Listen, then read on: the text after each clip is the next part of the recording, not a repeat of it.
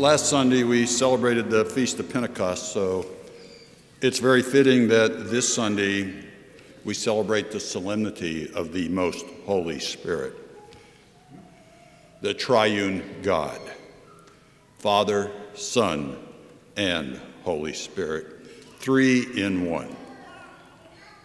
I think I said the solemnity of the Holy Spirit. I meant the solemnity of the Holy Trinity, excuse me. But as many times as we actually say it, Father, Son, and Holy Spirit, how often do we stop and think about what it actually means? Many of you, when you entered the church today, dipped your fingers into the holy water and made the sign of the cross. It's to recall the time you were baptized, when you were sprinkled or dipped into the water three times once for the Father, once for the Son, and once for the Holy Spirit, as was commanded by Jesus in today's gospel. And there's a number of times that the Trinity is invoked within the Mass. Father made the sign of the cross at the start, and he invoked the three persons of the Trinity when he welcomed us, then again in the collect, as he will again in the final blessing. And as often as we call on the Trinity, it still remains, as it should, a mystery. To say we fully understand how God works would mean we are placing ourselves in the divine category. However, as much as we cannot fully understand or even wrap our heads around it, we need to accept it to be able to live our faith to completeness. Well, one way we try and become comfortable with ideas that don't fully lend themselves to understanding is the use of analogies. One analogy used for the Trinity, three things as one, is the three leaf clover. The legend is that St. Patrick used the shamrock, whose three leaves make up one plant, to try and explain how the three persons of the Trinity can come together to make one God. I like myself to use the example of a three legged stool.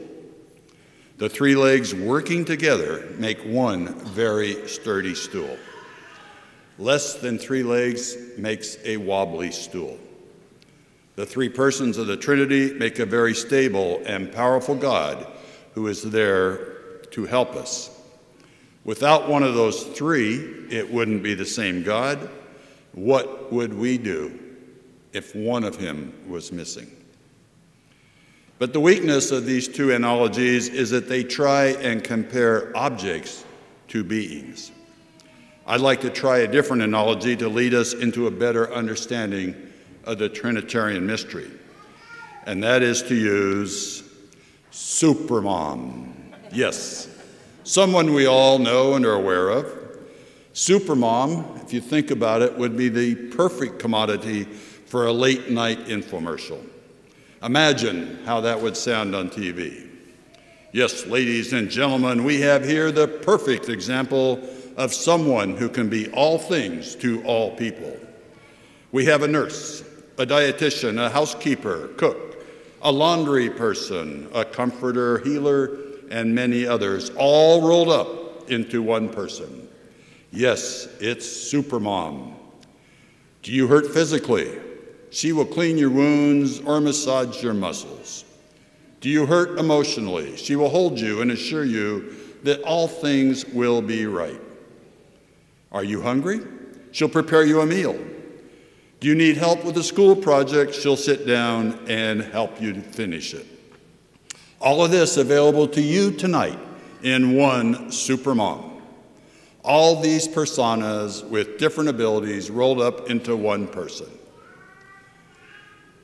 If we can accept that in a person here on earth, that will help us lead to a better understanding of our triune God.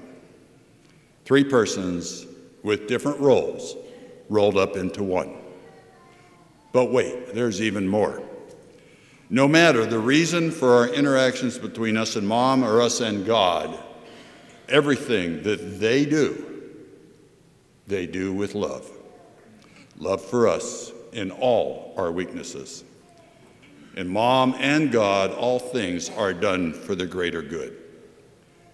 Now, I'm not trying to equate mom with God, but just using her as an example how one person can be different people, yet just one person. The slide that was up earlier and is up again is an icon that was created by Andrei Rublev, a Russian artist in the 15th century.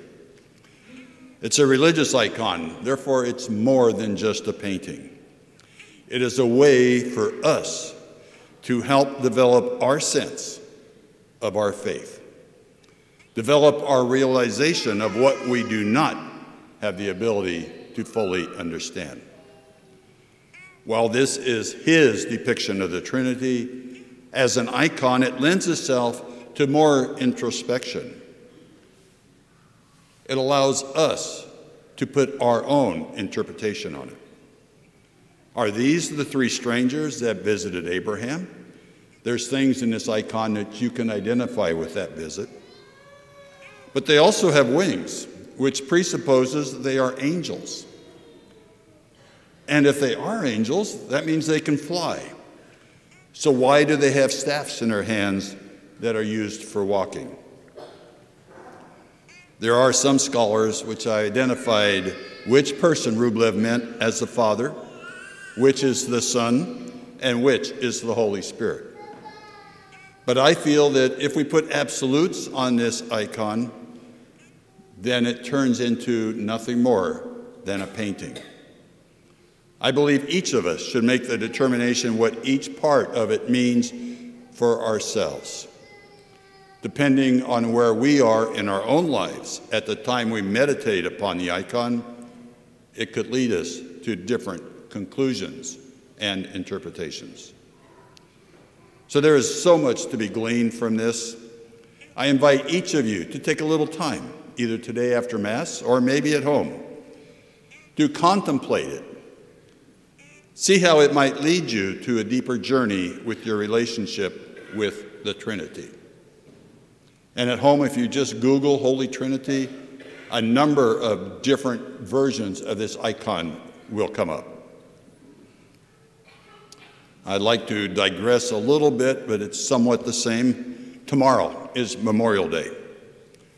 We often think of it as the unofficial start of summer or maybe it's just a nice day off of work. Just as we often don't appreciate the Trinity as we pray, we often forget what Memorial Day is about. It's a day for us to remember and thank those who gave for us. As Father mentioned before Mass, I just got back from vacation. My wife Sherry and I visited Normandy in France, where the Allies invaded on D Day. Among the places we visited was the American Cemetery. When you take the time and look upon rows and rows of the crosses and stars of David, it's very striking and humbling. These were young men, these were soldiers that were giving so that we might continue to live the great life that we enjoy in this country. But though they died as soldiers, not too long before their death, they were farmers, factory workers, clerks, teachers, or many other professions. In other words, they were you and me. So today I'd like to give them honor and to honor also all the other men and women who have given and continue to give for us. So please pray with me to our triune God. Heavenly Father, hear our prayer for all who have died, whose hearts and hopes are known to you alone. Hear our prayer for those who put the welfare of others ahead of their own and give us hearts as generous as theirs. Hear our prayer for those who gave their lives in the service of others and accept the gift of their sacrifice. Help us to shape and make a world where we will lay down the arms of war and turn our swords into plowshares for a harvest of justice and peace. Comfort those who grieve the loss of their loved ones, and let your healing be the hope in our hearts. We ask this through Christ our Lord. Amen. In the name of the Father, and the Son, and the Holy Spirit. Amen.